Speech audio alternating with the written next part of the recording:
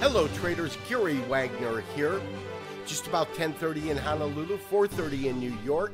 It is Monday, June 20th, 2016, and we are looking at the Dow Jones Industrial Average closing up in triple digits, up 129 points to close at 17,804. Now, it did flirt in terms of the high, just about 50 points shy of that elusive 1800 did not sustain those highs on the day, but we are seeing somewhat of a relief rally as the thought now is that it is less likely that Britain will exit the European Union later on this week when their referendum vote comes up and is actually voted upon. Stocks in terms of the Standard & Poor's and let's go ahead and pull that up. That was up about 3 quarters of a percent to close at 2074 25. So there's no doubt we did see a relief rally in the Standard & Poor's, a relief rally in the Dow Jones Industrial Average. Standard & Poor's closing up about 8 tenths of a percent on the day.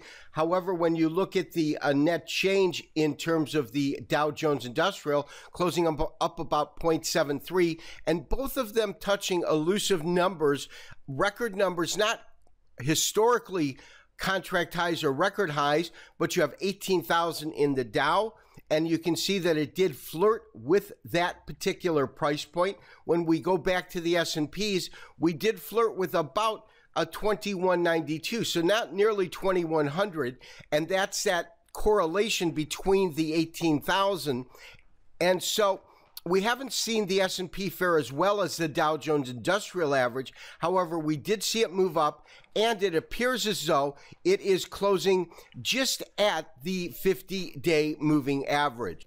Now, whereas I expected some continuation or downside pressure in equities today, and we certainly didn't see that, quite the opposite, in fact, I was also looking for uh, the dollar to come under pressure. That, in fact, has unfolded in that way, off about a half a percent, 93.67. We are looking at a weekly chart of the dollar index. And in terms of key support levels, we talked about 93. That's the first key support level. You can see that with this open here and this close here on a weekly candle, of course, that also matches up with a prior bottom that occurred what April and May of last year.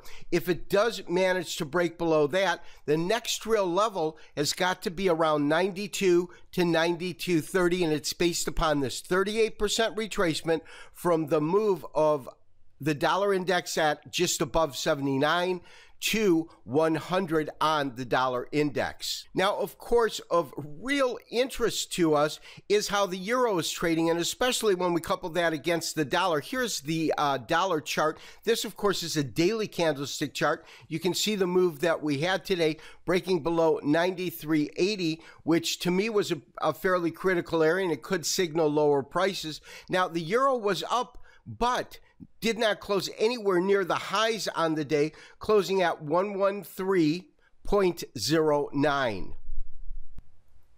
And traders, lastly, do want to take a look at crude oil. Now, we have been talking about how it's been trading within a channel. I've expanded the channel because this trend has been extended to now where the channel represents a 44 cycle, in this case, a day. So 44 days of trading. We can clearly see our upward level resistance, our support line here, our midline here. We talked about the fact that in essence, what we have seen is in this bullish environment, it trading and tracking in essence from the top to the bottom of the channel. We certainly got a break just last week as we spoke about, but we also found some real support where we thought we might, which was roughly 46.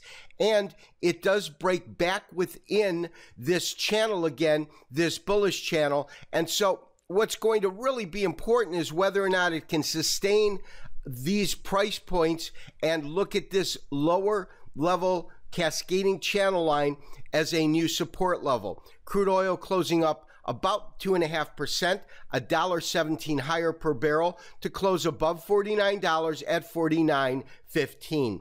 This has been Gary Wagner, wishing you as always good trading. We'll talk to you tomorrow for another daily update and review. Bye bye.